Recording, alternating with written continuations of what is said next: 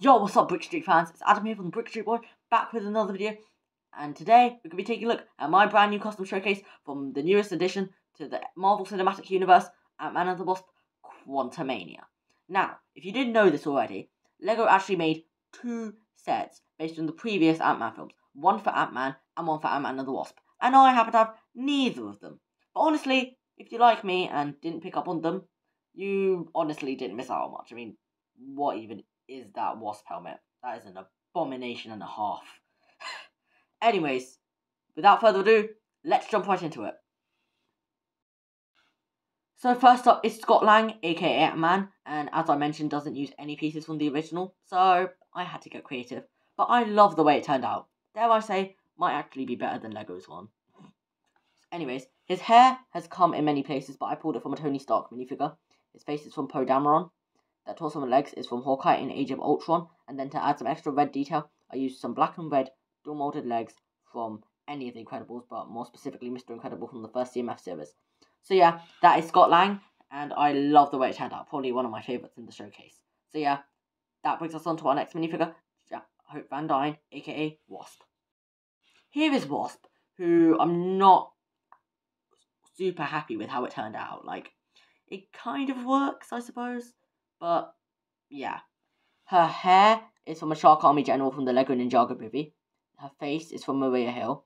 Her torso is from Black Vulcan, just turned backwards. Some black and yellow arms were later added with some black hands, and the legs were, are from the CMF diver.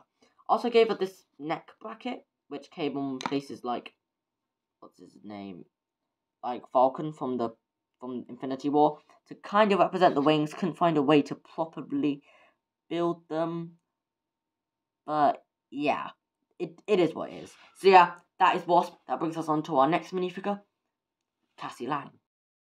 Here is Cassie Lang. Her hair is from Maria Hill, just a black ponytail. Her face is from Hermione from Harry Potter. Her torso print is from Batgirl in the Lego Batman movie, just turned backwards. With the arms from a CMF Night Protector, black hands, and then the legs from a TIE Fighter pilot. So yeah, that is Cassie Lang, who I think turned out really well. And that brings us on to our next minifigure, Hank Pym. Here is Hank Pym. His hair is from Vernon Dursley in Harry Potter, and his face is from old Obi Wan Kenobi. I, because in, if you remember this film, he ditches his glasses. So yeah, I gave him this red neckerchief. torso from Mad Eye Moody with some medium nougat hands, and then the legs, which I'm assuming from Qui Gon Jinn. Not entirely sure. So yeah, that is Hank Pym. That brings us on to our next minifigure, Janet Van Dyne. Here is Janet Van Dyne. Her hair I pulled from Mrs. Scratchen-Post from the Lego movie. Her face is from the Trolley Witch in the Hogwarts Express.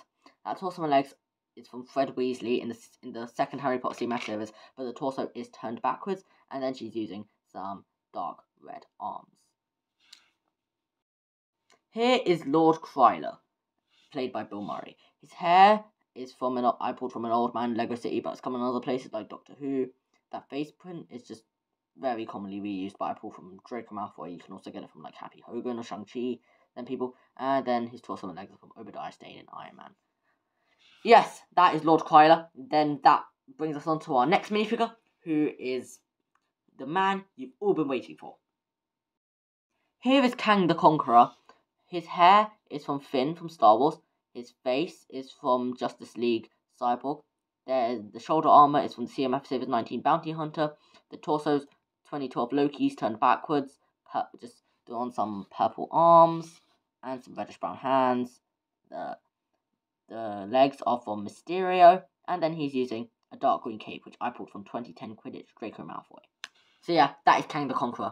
MODOK, I just used a clown because that basically just sums up his entire performance in the movie. Literally. He was just made a joke throughout, didn't utilise him to the best of his ability, he looked stupid, and then they killed him off in the end. Yeah.